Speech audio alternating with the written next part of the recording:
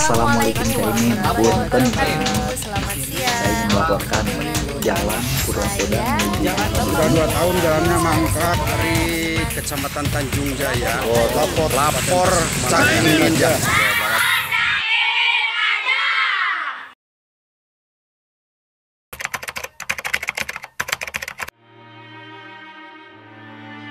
Tugas banyak, biaya hidup makin hari makin banyak. Ke kampus pulang pergi naik umum lebih mahal. Andai aku punya motor sendiri. lapor ke Imin Assalamualaikum warahmatullahi wabarakatuh.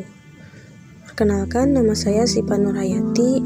Saya bertempat tinggal di Kampung Gumuruh RT 5 RW 4 Desa Nagra Kecamatan Cangkuang Kabupaten Bandung. Saya tinggal di sini sejak 2007. Sekarang saya tinggal di sini bersama kedua orang tua saya dan kedua kakak saya. Adik saya sedang pesantren. Ini keadaan rumah saya. Tepatnya di pedesaan Nagrak. Saya di rumah sehari-hari sambil kuliah karena masih daring. Karena pada saat ini PPKM naik lagi sehingga saya harus daring. Jarak tempuh ke Universitas Islam Nusantara sangatlah jauh. Saya masuk Universitas Islam Nusantara melalui jalur KIP.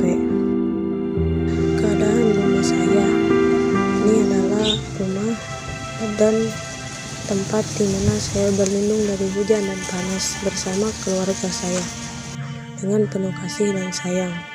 Rumah ini menjadi saksi bisu perihnya kehidupan dan kebahagiaan yang tidak dapat digantikan oleh harta. Ini keadaan rumah saya. Ibu saya seorang pedagang keliling yang menjual keripik singkong. Ibu sehari-hari berjualan keliling. Ini adalah ibu saya, bernama Ani. Dan bapak saya sebagai buruh harian lepas bernama Endang Tarya. Ini adalah ayah saya. Ini keadaan dapur saya. Begini adanya. Kadang hati sering saja ingin memiliki dapur yang bagus, memiliki fasilitas untuk memasak mama agar mama lebih nyaman. Nanti setelah saya besar, saya akan mewujudkan cita-cita kedua orang tua saya untuk membangun rumah sebagaimana layaknya.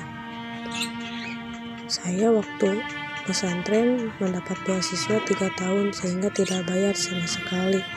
Ini adalah kejuaraan yang kemarin di Uninus saya dalam satu semester mendapat tiga piala dan ini kejuaraan waktu saya MA dan beberapa piala lainnya. Keadaan lingkungan saya,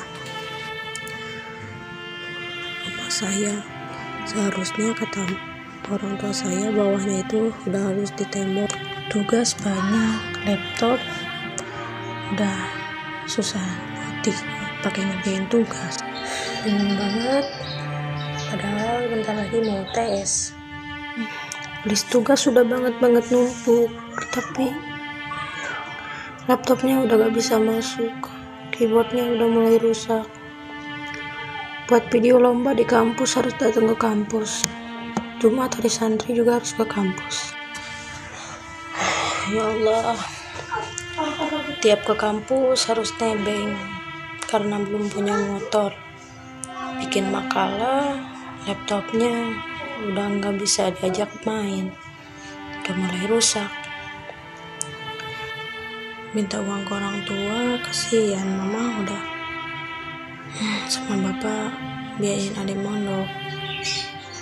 Aku sendiri masih kuliah belum punya pekerjaan.